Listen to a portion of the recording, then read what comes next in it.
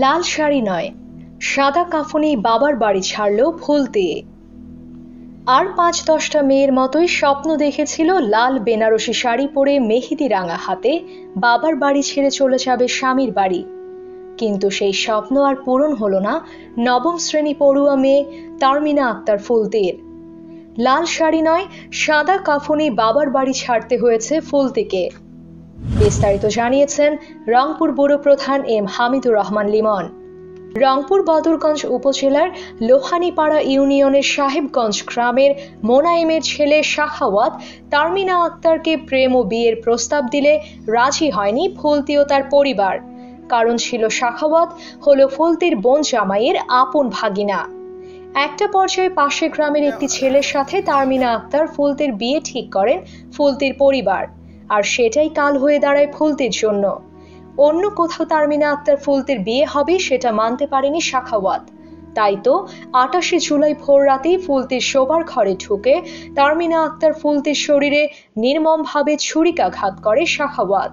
ছুরির আঘাতেই চিৎকার করে জ্ঞান হারিয়ে ফেলে তারমিনা আক্তার ফুলতি। পরে তারমিনা আক্তার ফুলতির চিৎকারে পরিবারের লোকজন তার শোবার ঘরে প্রবেশ করলে তারমিনা আক্তার ফুলতিকে রক্তাক্ত অবস্থায় দেখে তারা দ্রুত রংপুর মেডিকেল কলেজ হাসপাতালে নিয়ে যায়।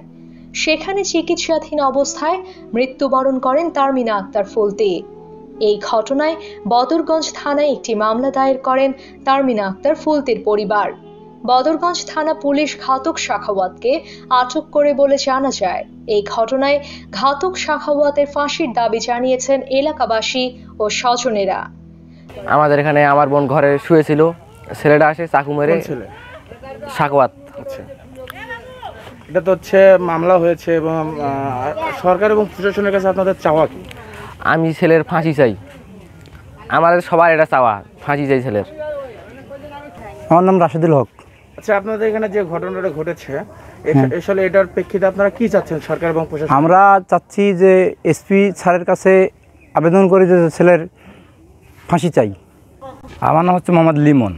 আচ্ছা আপনাদের এখানে যে চাঞ্চল্যকর একটা ঘটনা ঘটেছে আপনি এটার জন্য সরকার এবং প্রশাসনের কাছে আপনার চাওয়া দেওয়া আমরা চাই একটা সুষ্ঠু বিচার হোক যেন এরকম ঘটনা আর কোনোদিনও হয় না। এটার জন্য আর কি আকুল আবেদন করি। ছেলেটার জন্য ফাঁসি হয়। আচ্ছা। আমার নাম পারুল। যে আপনাদের এখানে যে চাঞ্চল্যকর ঘটনাটা ঘটেছে, আপনারা এটার জন্য সরকার এবং প্রশাসনের কাছে কি চাচ্ছেন? আমরা সব বিচার চাই, এই জন্য আমার মেয়ে মারা গেছে। আমরা শক্ত বিচার চাই, ছেলের ফাঁসি চাই আমি। আমার ছেলে, আমার মেয়েকে এত কষ্ট করি, এত কষ্ট দিয়ে মারছে ওই ছেলে। আমি আমি আর ফাঁসি চাই, তাছাড়া কিছু চাই না। ফাঁসি চাই ফাঁসি চাই। তারমিনা আক্তার ফুলতির মৃত্যুতেই যেন পরিবার ও এলাকার মধ্যে শোক নেমে এসেছে। ঘাতক শাখাওয়াতের ফাঁসির দাবি করে তারমিনা আক্তার ফুলতির দুলাভাই শামসুজ্জামান বলেন তার সকালে বিবাহ ঠিক হয়েছিল। আচ্ছা। সকালবেলা বি- মানে বুধবার সন্ধ্যার দিক বিয়ে হবে। সারা রাতে আমরা আনন্দ ফুর্তি করছি গান বাজনা করছি। গান বাজনা করে আমরা আমি- আমি এই রুমে ঘুমেছি আমার স্ত্রী সহ। তখন এই ঘরে আমার শ্বশুর আর শাশুড়ি আর আমার শালি। তিনজনে ঘুমাইছে। সকালবেলা আমি যখন মানে সকালবেলা আমি উঠে দেখি মানে চিল্লাচিল্লি করতেছে। সে চিল্লাচিল্লি আমি লাভ দিয়ে উঠে মানে যখন আমি দরজার কাছে আসছি সে এখান থেকে দৌড় দিয়ে বের হয়েছে। তার পিছনে আমি দৌড় শুরু করছিলাম। অনেক দূর ধাওয়া করছিলাম সে জঙ্গলের ভিতরে ঢুকছে আর ধরতে পারিনি। সাকোয়া। আচ্ছা। আমার বড় ভাইয়ের আর ভাগিনে। তারপরে এসে দেখি যে চার চারটে চাকু মারছে। তাকে রংপুর মেডিকেলে নিয়ে যাওয়া হচ্ছিল। তার চিকিৎসা যথেষ্ট চিকিৎসা করা হয়েছে। সে বাঁচেনি মারা গেছেন। এখন এটা তো হচ্ছে থানা অভিযোগ হয়েছে। হ্যাঁ থানা অভিযোগ হয়েছে কেস হয়েছে। সরকার এবং প্রশাসনের কাছে আপনার চাওয়া। আমি এটাই চাই যে তার ফাঁসি চাই আমি। আদরের মেয়ে তারমিনা আক্তার ফুলতি নেই। এখন বাবা মায়ের কাছে তারমিনা আক্তার ফুলতির স্মৃতি মানে ছবি আর পড়ার টেবিল। বিয়ের রাতেই ঘাতক শাখাওয়াতের হাতে আদরের ছোট মেয়ে তারমিনা আক্তার ফুলতির অকাল মৃত্যু মেনে নিতে পারছে না পরিবার। তারমিনা আক্তার ফুলতির পিতামাতা ঘাতক শাখাওয়াতের ফাঁসির দাবি নিয়ে বলেন আসি অর্ধেক ঘাটা থাকি শুনি যে আমার মেয়ে চাকু মারছে। সে? সে সাকোয়াত আচ্ছা তারপর? তারপর জানাজানির পর আমি অ্যাম্বুলেন্স নিয়ে রংপুর চলে গেছি মেয়েকে নিয়ে। যাওয়ার পরেও সে থানার কাগজ নিয়ে দেখি বহুক্ষণ পরেনি ঘুষ টুস দিয়ে তেমনি নিয়ে রংপুর মেডিকেলে ভর্তি করেছি সেই বারোটার সময়। আচ্ছা তারপর? বারোটার পর তেমনি নি অপারেশন করাইল অপারেশন করিডরে মেয়ে অল্প একটু সুস্থ হইল। সুস্থ হওয়ার পরে সেদিন থেকে বেশি এ যাবত আমার মেয়ে চলে গেল সে মারা গেল সে। আপনি তো এটা মামলা করছিলেন। মামলা একলা আমি করি নেই মামলা করছি কি ব্যাপারে এবারে একদিন আলছিলাম ওসি ফোন দিচ্ছে। ওসি ফোন দিয়ে তেমনি একদিন আসি তিন দিনকার মাথা আসি মামলাটা করছি। এখন আপনি সরকার এবং প্রশাসনের কাছে কি চাচ্ছেন? আমি চাচ্ছি একবারে আর ফাঁসির অর্ডার চাই। আমার মেয়ে তো মৃত্যু হয়ে গেছে। আমার নাম পারবিন। কি হয়েছিল আপনি বলুন তো শুনি। আর এই সকালবেলায় ওর আব্বু দরজা খুলি কষ্ট পায়খানা করি টরি কষ্ট মুইয়াখানা ভুঁই বাড়িতে দেখি আইসু। পানি হয়েছে না নাই হয়?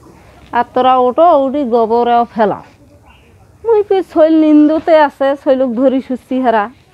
ওই ঘুম অবস্থায় আছে আমি ফির গোবর ধরি যায় এক ডালি পোয়াল খসাছি। পোয়াল খসাছি সখনে চিকরি কেমা উঠিল শৈল। মানে হ্যাঁ কসে মা ভয়ে আগাইস মুখ মারি ফেলাইল। আমি যখন পোয়াল কোনা ধরি দৌড়েছি মুখ কাছে তেল ছাড়া বোধহয় ভয় করে তেল ছাড়া গাওয়াজ চড়ছে। আসি দেখি ওই ধূর ধুড়ে একেবারে শাখাও দৌড়।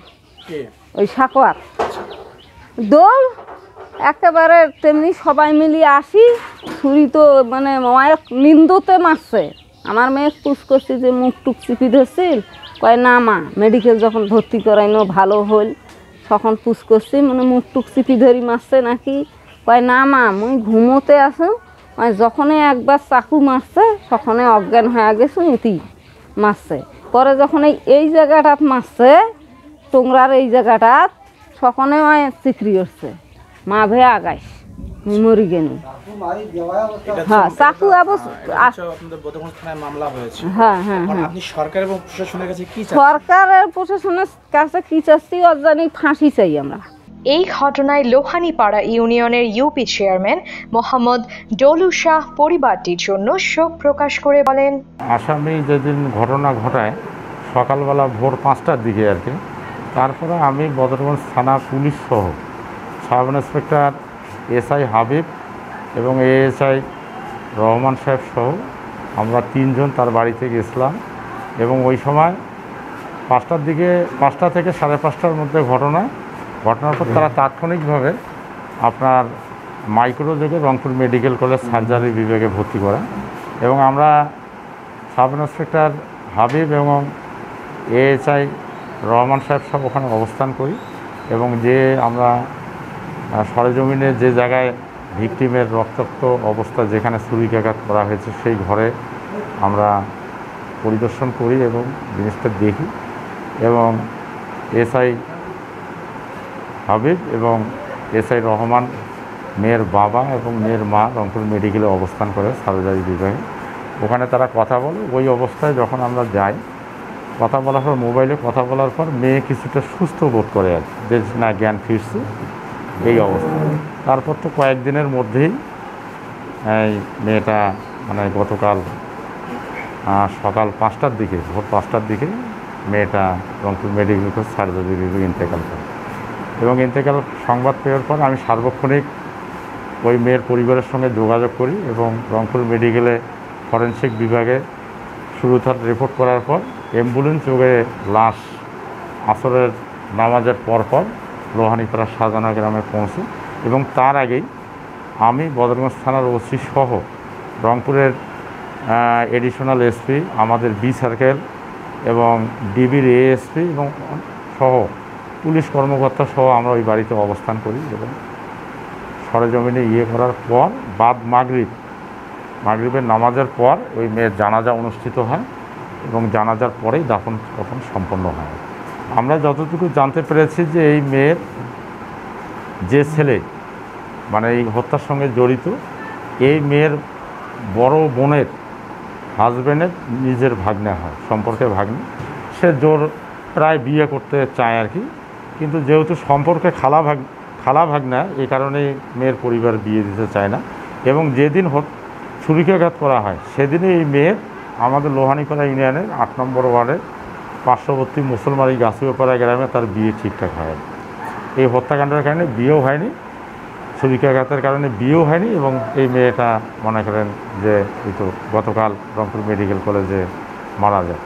এবং মেয়ের পরিবারের সঙ্গে সার্বক্ষণিক আমার যোগাযোগ আছে এবং আমি যেটা খবর পেয়েছি অলরেডি বদরগঞ্জ থানার এসআই হাবিব এবং এসআই আব্দুর রহমান তাদের নেতৃত্বে অলরেডি আসামি ঢাকায় ঢাকায় যাওয়ার পথে অ্যারেস্ট হয়েছে এবং ইনশাল্লাহ কয়েক ঘণ্টার মধ্যেই মনে হয় থানা হেফাজতে আসামিকে নিয়ে আসবে আমি আমি সরকারের কাছে চাই যে এই ছেলের দৃষ্টান্তমূলক শাস্তি।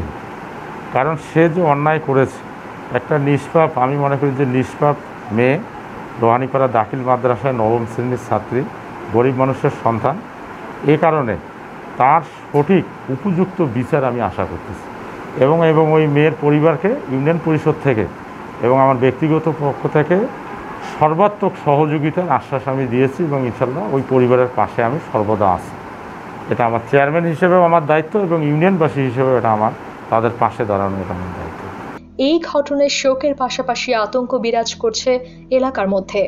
তাই যেন এমন ঘটনা আর কেউ ঘটার সাহস না পায় তাই পুলিশ সুপার ও পুলিশের গোয়েন্দা বিভাগের হস্তক্ষেপ কামনা করে ঘাতক শাখাওয়াতের ফাঁসির দাবি করেন এলাকাবাসী।